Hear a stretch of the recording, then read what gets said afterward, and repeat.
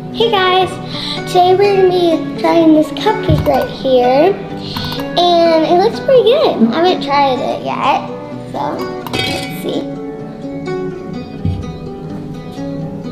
I'm really excited. That looks really good. Okay, so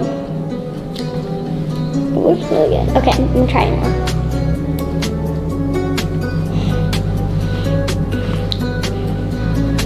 That's really good. Um, obviously it tastes like vanilla. Um, like vanilla frosting.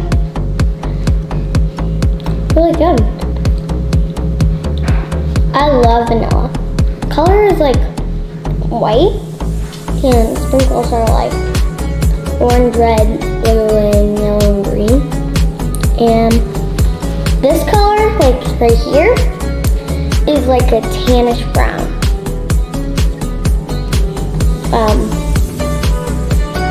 and it looks really nice, like, I don't know, scale of 1 to 10, um, I'd give it like 8.5. So, or maybe we change that to 9. That's really good. So, bye-bye